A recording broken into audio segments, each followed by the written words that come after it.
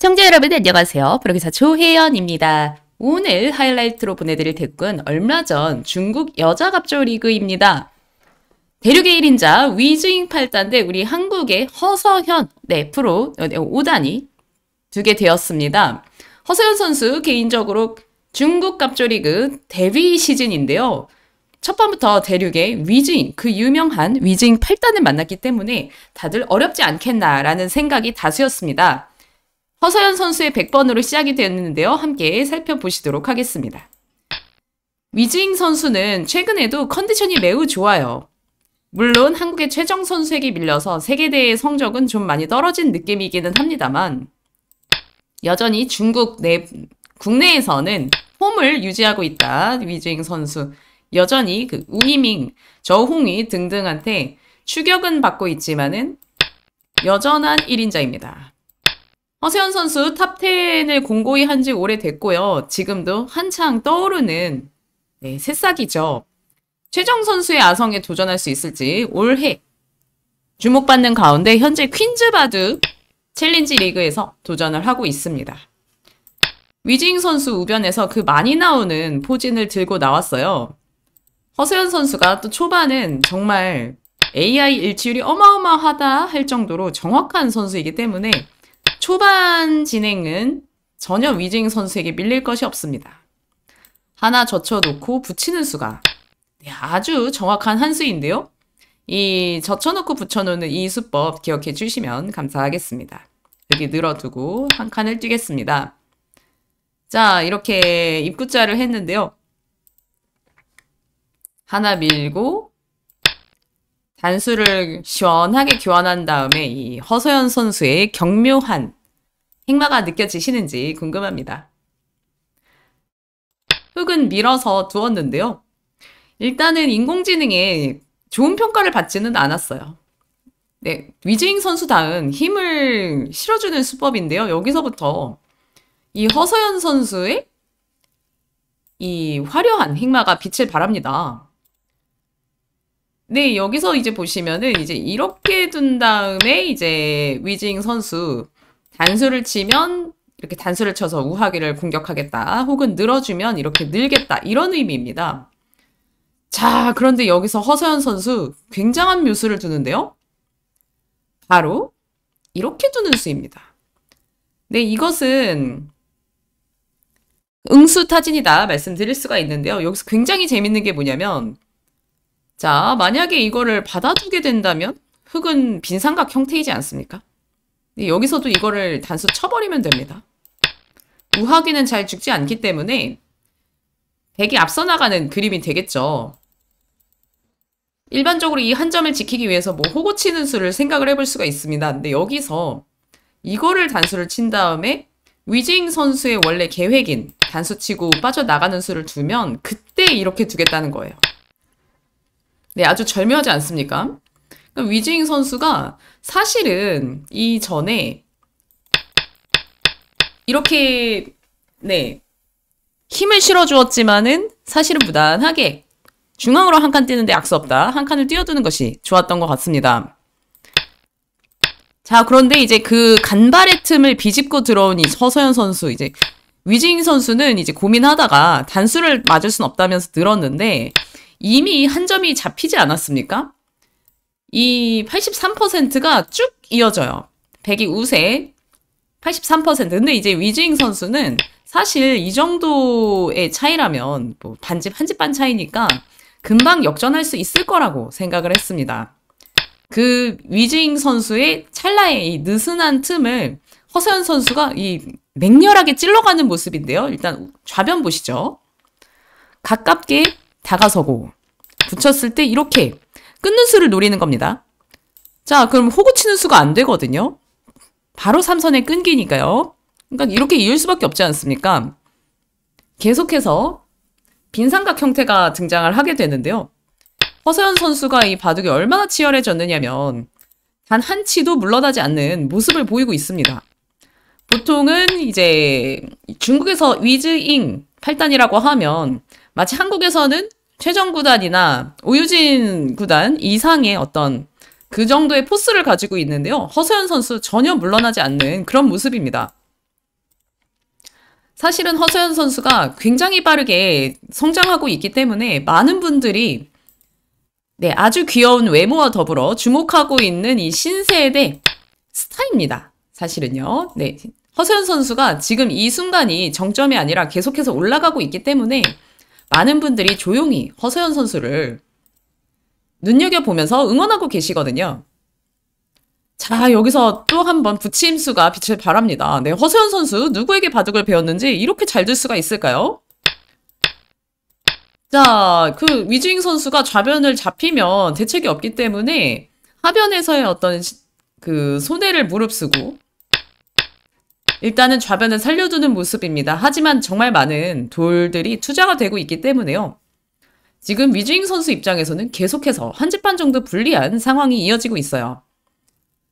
하나 손수 교환을 해두고요. 네, 이 날짜 워낙 크기 때문에 받아두어야 하는데 아, 이 오늘 허세현 선수는 완벽 그 자체입니다.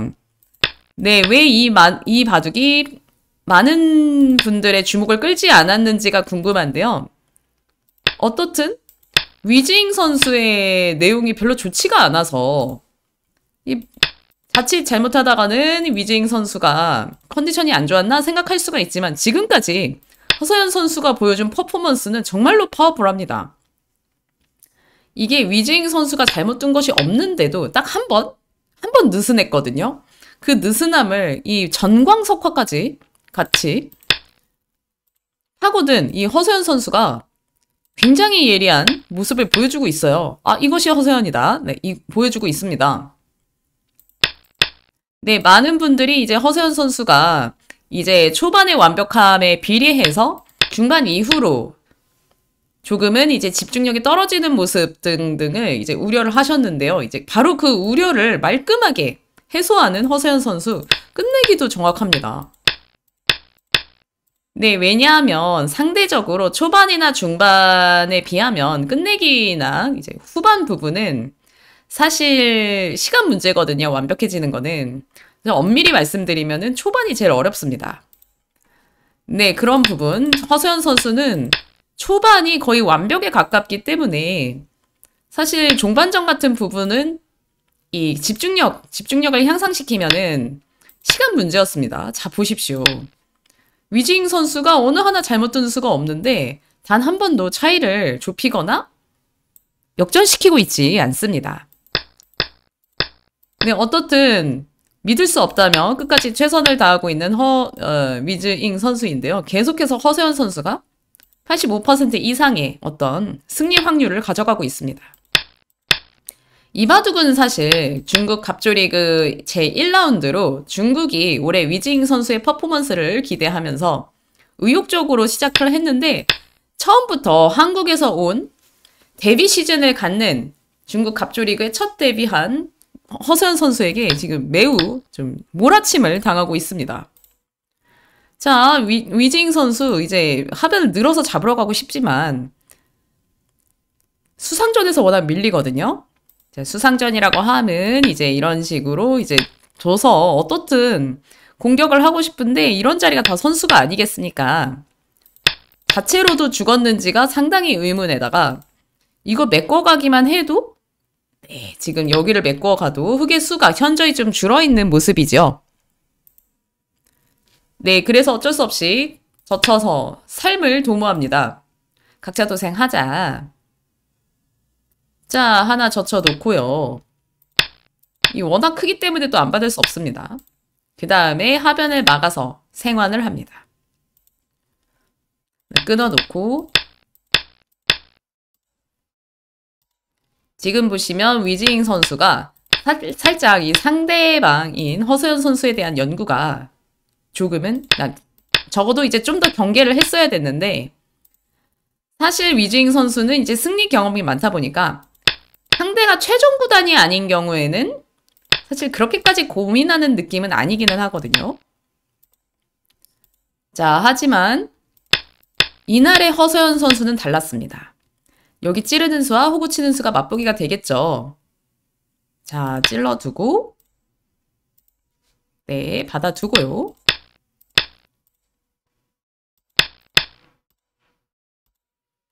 최선을 다해서 끝내기를 하는 모습입니다. 자, 그런데 여기서 위징 선수가 한집반이 현재 불리합니다만 허서연 선수가 살짝 실수를 하는데요. 그거를 포착을 했어야 됩니다. 자, 이거를 하나 찝어두고요. 굉장히 재미난 한 수가 만약에 이제 여기를 두게 되면 이제 흙이 손을 빼면은 이제 여기를 젖히는 수가 있습니다. 네, 끊을 수가 없죠. 이렇게 끊, 끊기는 수가 있기 때문에. 그래서 근데 이렇게 뒀으면 사실 무난하고 깔끔한 한 집반 승리인데요. 허세현 선수가 조금 더 네, 하겠다라는 의미로 선수를 잡기 위해서 여기를 찝어둡니다. 네, 일견 좋은 수인데요. 사실은 손해를 봤습니다. 이거를 두니까 흙집이 세 집이 났죠. 찔렀어요. 네, 찌르기 전에 하나 따내놨습니다. 그러면은 이제 있고 이제 마지막 큰 끝내기. 흙이 뒀어요. 이게 몇 집짜리냐면 100이 이제 사실 이렇게 젖히는 수가 있었어요. 그러니까 예를 들어서 흙이 막았다고 쳤을 때 이렇게 두는 수가 있지 않습니까? 네, 이런 식으로 진행을 하는데요. 그러면은 호수 끝내기, 즉 이제 100이 끊어 먹었다고 생각을 하면 하나, 둘, 셋, 넷, 다섯, 여섯, 일곱, 여덟, 아홉 최소 이제 아홉 집 이상 열 집 가까이 되네요. 자, 만약에 100이 이쪽으로 단수를 치면 하나, 둘, 셋, 넷, 다섯 잠깐만요.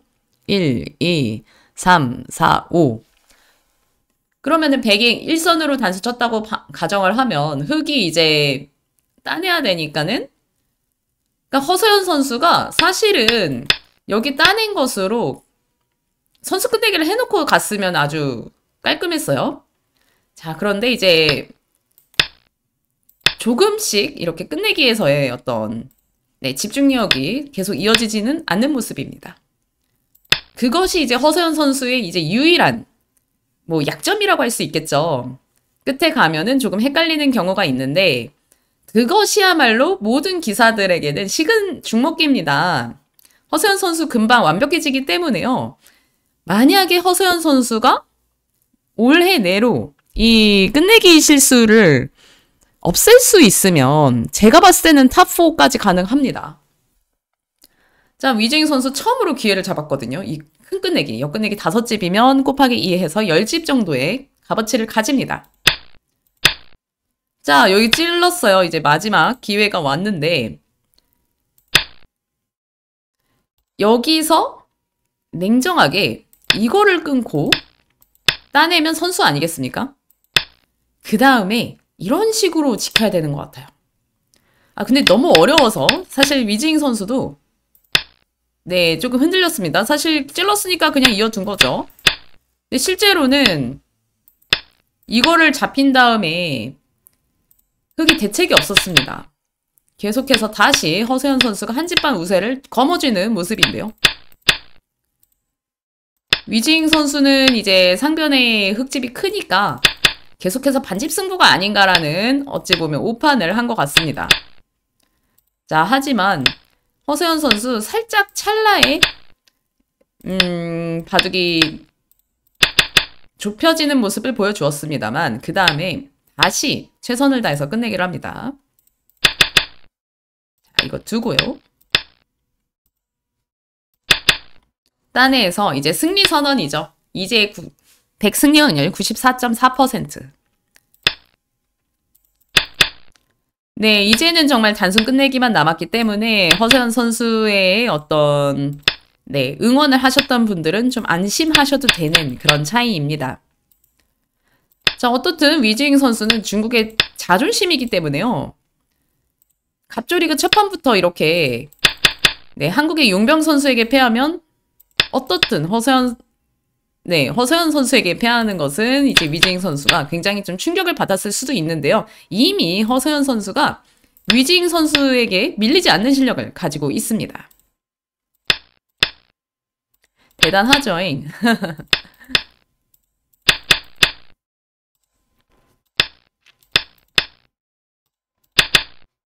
자, 이제는 뭐 단순 끝내기라서 서로 실수할 곳이 없습니다. 두 집짜리 끝내기 왔다 갔다. 네, 이렇게 진행을 하고요.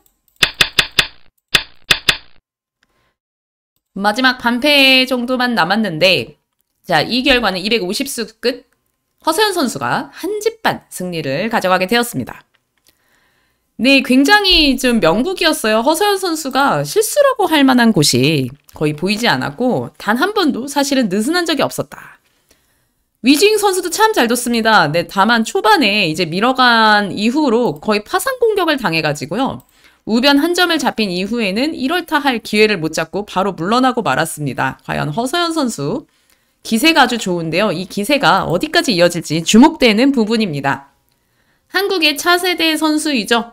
나중에 김은지 선수와 함께 이 한국 여자 바둑계를 양분할 것으로 기대가 되는 허서현 선수인데요. 우리 국내 선수이니까 많은 관심과 응원 부탁드리고 계속해서 크게 진화하는 허서현 선수입니다. 올해 2024년 활약이 기대가 되는데요.